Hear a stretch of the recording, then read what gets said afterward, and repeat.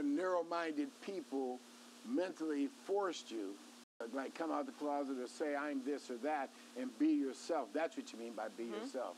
And uh, how does it make you feel? Just like everybody else now?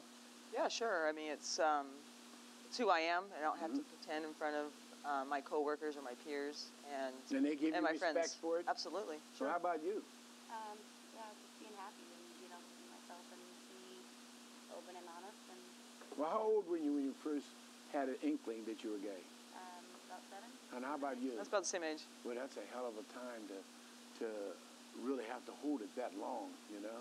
That when you get older and you find out, well, what the heck, I am what I am. Like Popeye, shiver me timbers, I am what I am. And I don't think anybody should be put down for any reason unless they're murderers or something like that. Well, what's the negative part of a gay life? Definitely being judged. I think you know.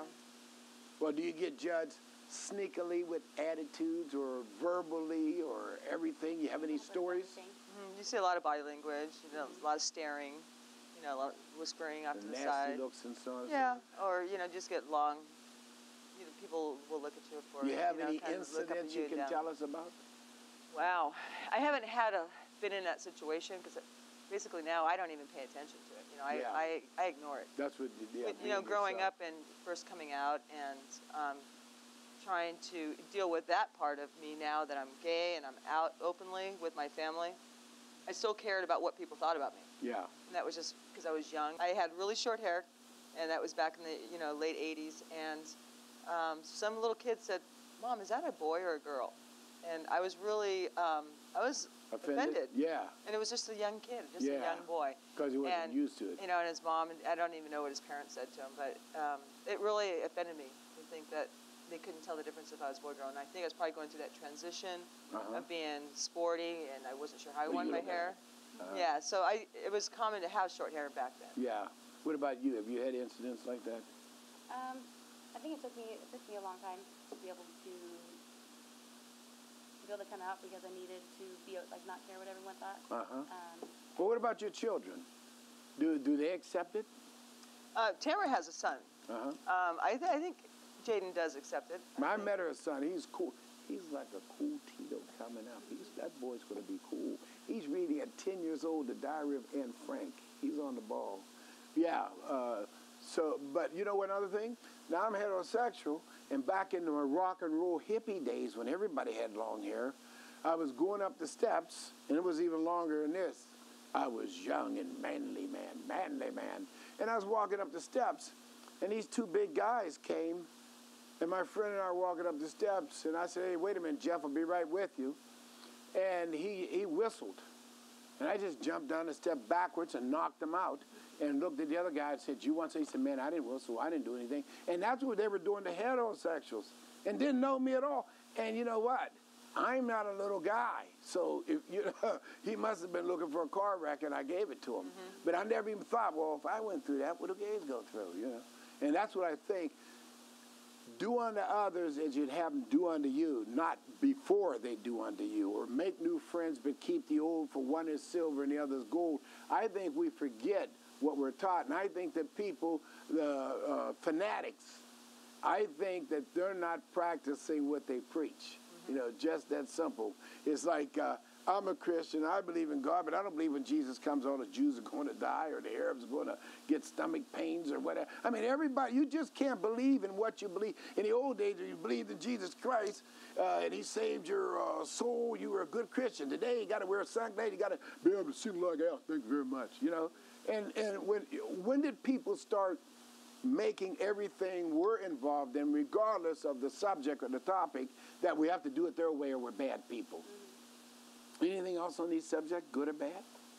Um, I just think that people need to be a little more open-minded. That you don't you don't have that normal lesbian or Mm-hmm. gays look. You know, it's you, you're going to have different stereotypes. Well, let me ask you this. If I go to see one of my corpses, they see uh, Italians walking by, they think Italians are supposed to talk and uh, they all know each other and all friends, or blacks are supposed to, or Latinos. When they see gays going by, they say, oh, there goes your homegirl, your homeboy. Do they think the same thing? They should be your friend? um, I think so. I think they're like that still. That's crazy. Yeah. you know, because nobody, I always say, the Canadians don't like the French, the French don't like the Germans, the Germans don't like the English, the English don't like the Irish, and the Irish Catholics don't like the Irish Prot- uh, Protestants, and there's more black on black or Sicilian on Italian, and so on and so on. Nobody likes anybody. But, no, let me ask you something else. Is there more, and I've heard this from people, and what do I know? That there's more, promiscu- uh, uh, more promiscuous, gays are more promiscuous than heterosexuals. You know, I thought everybody was a slut. I don't care what their preference are. You know? and then, like I tell people, I'm not prejudiced against anybody. I hate everybody the same.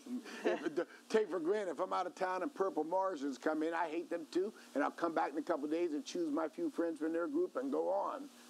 So, what do you think? Is it, are gays more promiscuous than? Um, I, gay men are promiscuous, but I think I think everybody's promiscuous.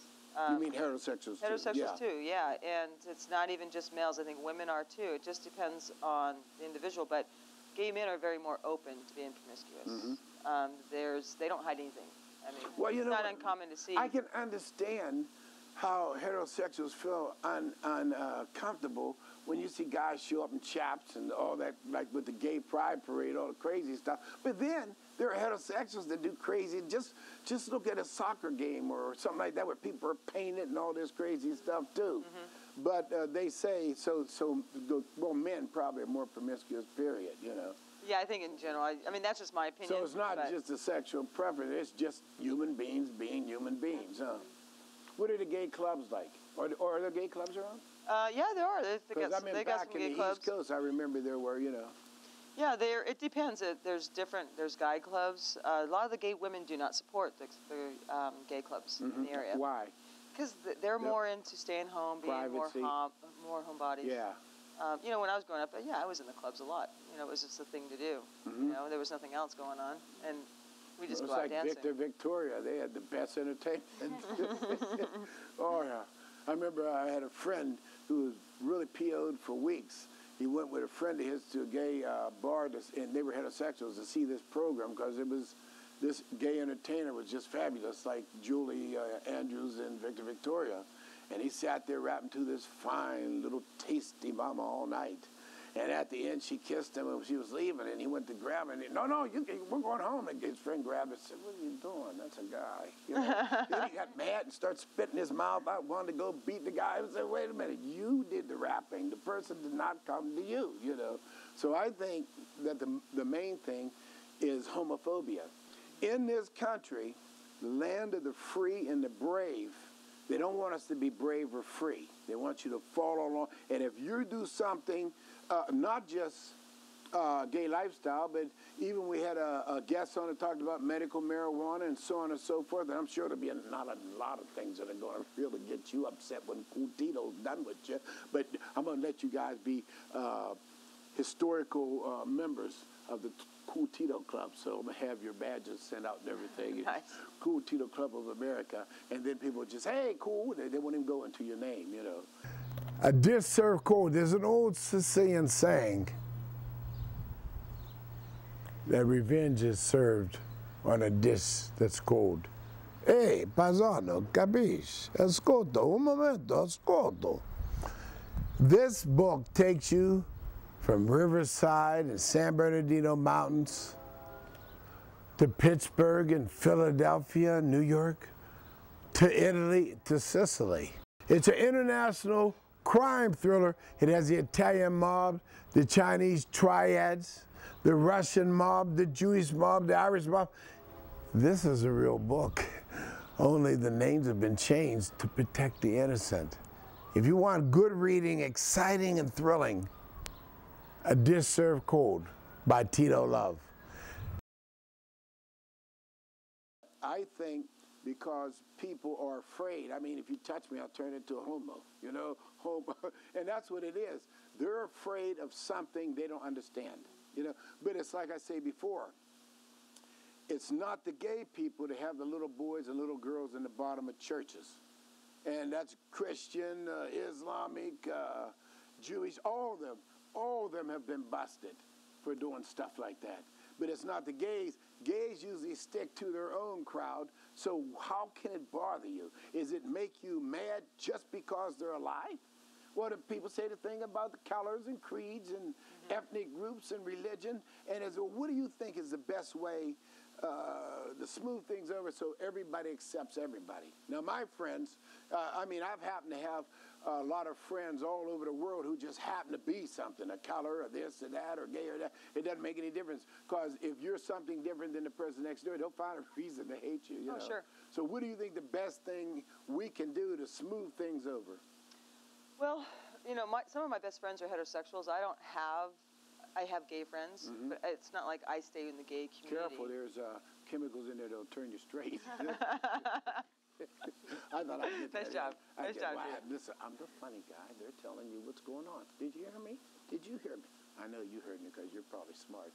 Oh, you were saying? Um, but my best friends are, are straight, mm-hmm. you know, and um, I have a lot of straight people that I I'm close to. Mm-hmm. So I don't feel like I have to stay in the gay community. I you're just a regular person. I'm just no, yeah. a normal person. I'm a, you know, and I just happen to be gay, and I like to have women around me that yeah. I that I'm close to. Well, so. you know, that's that's the same way I am. I, I, don't judge my friends. Who the hell am I? Am I that? Gr- I am kind of cool, but I'm not that great. You know that I can judge others if I just take care of Tito's business. I will indeed have a wonderful life. Mm-hmm. You know. Oh, on uh, uh, the best way for us all to get, like Rodney King, can we just get along? You know, for everybody to, to mind their business and get along and judge people. Or I judge people on how they treat me. You know, I don't care what boat their grandmammy or somebody came over on. Mm-hmm. I care now that we're all here how they're going to treat me. Mm-hmm. And I think just um, being happy and showing that um, they don't have anything to fear when they, you know, it's just I'm still me and um, I don't know. I'm just hoping that it helps people accept it and well, be you okay know with what? everything. There'll be some teenager who's doing the same thing you used to do, hiding it. Maybe since they see how cool you are, because they're members of the club, that they will uh, be able to come out and say, "Mom, Dad, I'm gay." You know, I mean, nobody wants their kid to be any different. I don't want you to have one blue eye and one brown eye. I want you to just, but stuff, stuff happens. Deal with it. I have to say that very correctly, you know. So I don't want people. He swore. He, he just. And, and but but uh, I think when our like grandchildren grow up, this will be old hat. I think all this stuff will be old hat. There'll always be prejudice in this country because there's so many different nationalities. In fact, I think before you can leave another country and come here, that people say, uh, how's your driving record? Mine's fine, you're not allowed to leave. How's your driving record? Well, I have three tickets. Yeah, you can go to America. So when you get out here, we get all the bad ethnic drivers from all over the world, and all the good ones aren't allowed to leave their country, and that's why our roads are so bad. Yeah, you got to clean up the road. I'm going to talk to the police soon anyhow.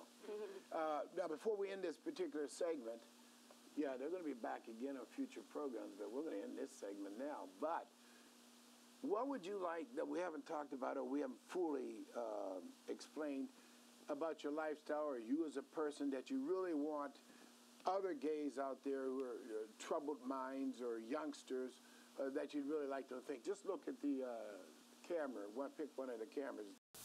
Younger generation has a really hard time. The ones that are afraid mm-hmm. to tell their parents or they don't know how to deal with it because mm-hmm. it's just emotions that you don't know what to do with them you know, until you can find someone that you can talk to. So, you know, I suggest see a counselor and, and be yourself. That's a great and, idea. And, be, um, be and if you're tight with your mother and dad, then talk with them.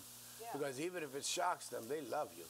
You know what I mean? They love you. It'll set them back, but, you know, they, they will accept it and, you know, just make good choices. And I want you to know that they're mad as hell and they're not going to take it anymore. Let's tell them. We're, mad, mad, as hell. We're, we're not, not going to take, take, it anymore. anymore. I'm Tito Love. This is Lauren. This is Tamara. You know, sponsors pay for this local program. Give me the money. Your message is important. I kid, I kid. This program is brought to you by Main Performance USA Magazine.